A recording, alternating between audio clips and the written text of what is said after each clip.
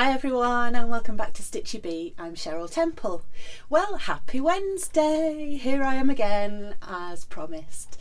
So last week I promised you that I would review the Sew Over It online class which is called, let me get this right, the Intro to Sewing with Knits class. Okay, so this is an online class that comes with two downloadable PDF patterns. Firstly, the Emma dress, and secondly, the Alice top. And it was the Alice top that really inspired me to buy this course. I think I bought it during the Black Friday sale. Um, so it's always nice to get a bargain, isn't it? So yeah, um, really love the Alice top. It's so me. It's just an everyday kind of top that you can just wear comfortably um, it looked quite simple to make and I really like wearing viscose jersey as well so that was a big tick for me. Um, secondly the Emma dress which is what I'm wearing um, now. I'll give you a quick whirl. So this is a dress made from Ponte Roma and I didn't realise actually that when I selected this fabric it's the fabric that Lisa Comfort uses in the actual online class so great minds. Um, so here we are. It's quite short, excuse my slippers, working from home footwear attire. So it's quite short and it's probably a bit too short. I feel like it's a really windy day here. It's awful and rainy here in the UK and I think if I went out with this on I it would probably take off or blow up one or the other. So it's got um, a princess seamed bodice and there are two gorgeous little inverted pleats here and at the back and I've made it pretty much to the pattern but I chose to have a colour contrast cuff because I had some remnants of red Ponte left and also I put inseam pockets in which I thought were quite cool. Um, and there's a really good tutorial actually on Lisa's Sew Over It channel on how to insert pockets into a side seam. So I've never done that before from altering a, a pattern. So I thought I'd do that, which is really easy. She actually uses a free pocket piece that comes with the Sew Over It pyjama bottoms pattern, but you can use pretty much any any pocket piece. Um, it's just kind of like a lazy teardrop shape maybe. I don't know if that's how you describe it. But a standard pocket piece and you just cut out um, two pieces for each side and stitch them in as per Lisa's video. I'll link to that on um, YouTube. It's actually it's the best tutorial for inserting pockets I've come across. It's brilliant. I don't think you need any others. So have a go at that. So yeah how did I find it? Well I really loved sewing this up um, it's because the class is aimed at beginners. I would say this of the two pieces is going to be the easiest and the most with the most satisfaction from it. So, for example, when you're sewing Ponte, it's a lot more stable than any other type of jersey I find and there are loads and loads of notches in this pattern so don't scrimp on them. It really helps when you're lining everything up. It just makes things so much quicker and easier. So make sure you find every notch in the pattern and that's great. Um, everything was fairly straightforward. Um, in terms of fit the fit's great but I didn't alter the waist. I usually add an inch or two to the waist. It sits very high on me as you can see so my natural waist is probably about there. So I'd say if you're tall or you've got a long torso, um, just check the fit on that. Um, it depends how you want it but I just wanted to see how it came out as the pattern is because Lisa's tall and I think all her patterns are made to fit her so I was hopeful but it does need an alteration for me um, for next time. Um, the pockets I think add to it and with the little bit of colour pop as well I think it it really looks quite nice peeping out. Now also fit wise the cuffs are a little bit tight so I used the 1.5 centimetre seam allowance as instructed um, but I think next time I'd use a little bit less. It's not too it's not restrictive but I'd prefer a looser cuff um, and I don't think I've got particularly big arms so Um, I think they're probably a little bit tight if you use the full seam allowance on the on the sleeve. So it's a nice length though, three quarter length. Um, but I feel a little bit like a girl going to a party, like a little girl. you see what I mean? It's a bit, you know, it's quite fun, it's quite nice, but it's probably not the thing I'd always choose to wear. I tend to go with more day to day practical items of clothing. But it's quite fun, isn't it? Especially in a polka dot. So yeah, really great first pattern to try. Um, if you are a true beginner to sewing with knits, I can't recommend this enough. It's brilliant. Um, so I don't think you'll find anything difficult about it at all if you just follow the stages step by step. Step. A good tip is to watch through the whole of the course for each item before you start and then you kind of know what's coming and you can expect certain stages so that you don't skip anything. And it's amazing you do miss bits if you just watch it once. It's always worth going through again. Oh one more thing i forgot to mention about the emma dress so the pattern says um, it requires a 22 inch zip. I think that's the right length. So i thought a knitted dress with a zip? Nah. Now don't trust me on this because it might vary on size. So if you smaller size, it might not work, and if you're a larger size, it might not work. But I cut out a size 12 and I didn't put a zip in, I just stitched up the back. So I'll show you. So instead of doing the zip there, I just stitched it straight down with the 1.5 seam allowance and it worked a dream. I've got no problems with getting it on and off. Um, I kind of made sure, so I, I stitched it with a really long stitch length just to make sure in case I had to unpick it and it did work. So if you don't fancy putting a zip in, then don't. On next to the Alice top, excuse my voice by the way, I've had that dreadful flu bug for the last week and I'm just coming through it, but I'm still a bit croaky, aren't I? So I'm trying to keep up with the vitamin C drinks.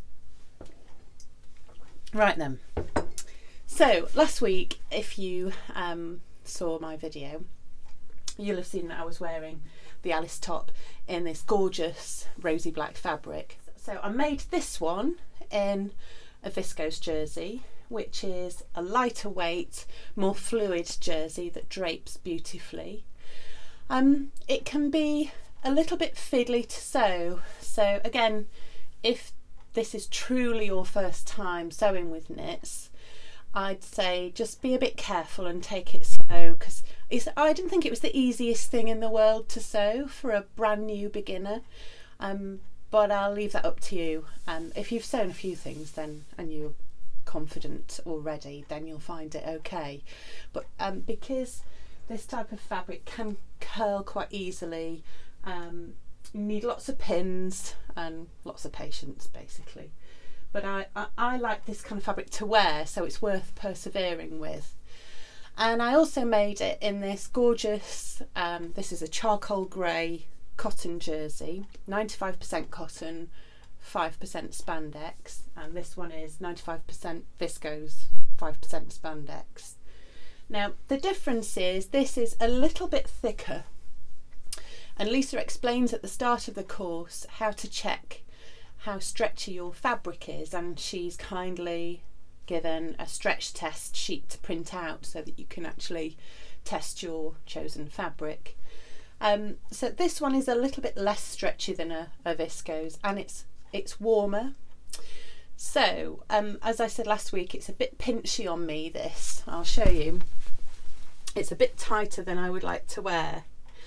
Now a great thing about this pattern is it comes in cup sizes, which is really useful. So I didn't give myself the best chance because I sewed a size 12, which sometimes I'm a 12, sometimes I'm a 14. So I thought I'd, I'd have a snugger fit. And I also went down a cup size because I sewed this first. Um, I'm usually a C, but I chose the B. And it's a little bit low you can see it's a little bit low cut and I'm constantly conscious of yanking it up when delivery men come to the door and stuff. so um, bear that in mind. So the lessons I've learnt from this is if I'm sewing a cotton jersey, I'm going to size up to give myself a little bit more comfort. So I'll definitely sew this in a 14 in this type of fabric. And also I'll increase the cup size. So I think it's probably quite spot on cup size wise. Um, so if you're a B, sew the B, and if you're a C, sew a C, and so on. But yeah, um, really easy to make um, if you follow the stages. There's um, a couple of things to watch for. So when you sew a plain fabric, it's not so easy to tell the right side from the wrong side. And I actually stitched the back of this one wrong the first time round and had to unpick it, which is a bit annoy annoying because it's also attached using a, a burrito roll method to hide the seams on the on the back because it's a double layer for both parts. So make sure that's correct before you stitch.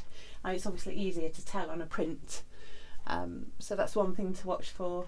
And you can alter where you sew the tabs. So the tabs hand tacked inside, which always irritates me a bit. I hate hand sewing stuff. Um, I'm sure I, you don't see the sewists that in factories hand sewing so there must be a way there must be a way of stitching that in so next time I'm going to find out how to do that because no one's got time for that anyway apart from that it's it's great and the best thing is is a lot of the seams are hidden so you don't have to overlook everything because um, you can see on the inside that the the seams all nicely tucked away, which is great. But I, I love these. Um, they're really, I've worn this loads this week. It's never been out of the wash.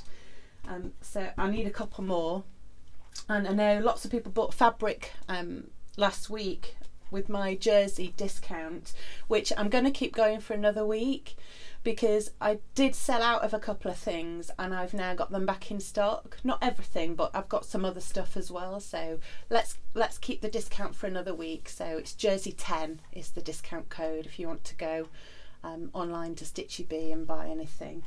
Um, I've also got a couple of new ones in. So this arrived today and I've got to put this online this afternoon. But this is stunning. So this is I've not got the exact composition for this because one of my suppliers is not particularly great at doing that. But this is this is definitely a polyester jersey. But if you imagine a if you imagine a viscose jersey but made from polyester, that's what you get here. Now, when I felt this, it's a navy, by the way, and a, a kind of beige fawny stripe. This reminds me of those high-end ready-to-wear shops, you know, like Hobbs and places like that, and Phase 8. So it's that kind of feel to it. So I'm going to call this Classy Kate. And um, if you like a bit, um, a bit of that type of print, then go and have a look. This will be in the Jersey discount too. So I really like that. I'm a bit gutted that I didn't have it before because I'm going to make one of these um, in it as well so that would have been nice. Um, and also, I've got another viscose stripes. I love stripes in spring. Are really cool. And um, this is a, a grey, light grey and dark grey striped viscose jersey. And this is beautiful, really soft. Um, always remember to wash viscose um, any fabric with viscose in before you sew or wash every fabric fabric really before you sew because you wouldn't want it to shrink especially on a close fitting top like this. Um, so this one um, I'm not sure what I'll call this but it'll be a grey striped viscose and I'll pop that on the site before this video goes out so you'll see that there too. I've got 20 meters of each so you need to be quick if you want some. So finally I've got another 30 metres of this gorgeous Geo jersey. This sold out really quickly last week. It's a blue um, geometric print with a kind of sandy background. The camera's making it a bit too pale there, but if you go online, I, I spend a lot of time getting the colours right on my listings because there's nothing worse than buying a fabric and then you get it and then it's it looks a different colour so I spend ages making sure that it actually looks like this um, so the picture online is is better than the one you're seeing on the video um, so yeah, this is beautiful. So I've got another 30 metres of this. So I know a couple of people are waiting for it and I've sent you emails, so thank you for waiting. So yeah, the, the discount still stands, so thank you for being patient. It's quite tricky um, knowing how much fabric to buy of, of each thing um, because I don't want to buy too much because I'd like to give you plenty of choice as well. So it's just one of those things in the industry, isn't it? So that's it from me for this week. Um, really enjoyed making these over the last week or so, um, and it's a great course. So if you've got it, crack on, it's brilliant. Uh, so, yeah, next week I'm going to talk about denim. So, it's been quite tricky finding good suppliers of good denim, and when I was a customer, I used to really struggle to find really good quality denim. So I've ordered quite a few bits in and I'm really glad I did because Tilly and the Buttons have launched their brand new pattern, the Miller Dungarees or Mila, M-I-L-A. I don't know how you say it. I say Miller. Um, so yeah, that looks like a good pattern. Uh, I've been looking for a pair of dungarees for myself recently in the shops. So I'm quite pleased to find one in exactly the same style that I was looking for. So I wanted something fitted, I wanted something skinny, not too baggy because when I've tried them on in the shops before, they kind of gape here. And these don't looking at uh, Tilly's pattern online. So I'm hopeful I'll be able to create something that, that can fit me and that will be really good for a jersey top like this underneath or um, an Agnes top or a Molly top something really plain um, maybe a stripe. Um, so I think that's a nice spring item of clothing to wear. So I've ordered my bits and bobs from Tilly. Um, I've also ordered some of the jeans buttons as well online. Um, so I've got all the bits ready. So I won't have finished it by next week unless I'm really really really lucky um, to get the time. But I'll pop back next Wednesday and we'll have a look at the pattern, we'll have a look at some different types of denim, and I'll let you know where I am in the stage and the process. I think I'll probably have to do a twirl of it first um, to see how I can get it to fit right because I'll always have to lengthen the leg as well. Um, and we'll see how we get on then. All right. Nice to see you. Thanks for popping in, and I'll see you next Wednesday. Take care. Bye for now.